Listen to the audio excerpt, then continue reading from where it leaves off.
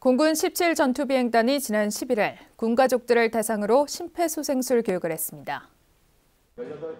이번 교육에는 17 전투비행단 군가족 6팀이 참가해 민간 강사의 지도 아래 올바른 심폐소생술 방법과 자동 제세동기 사용법을 익혔습니다.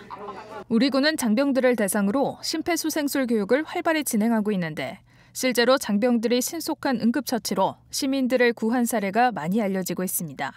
이에 부대는 장병들뿐만 아니라 일반인들에게도 심폐소생술의 중요성을 널리 알리기 위해 이번 교육을 마련했습니다.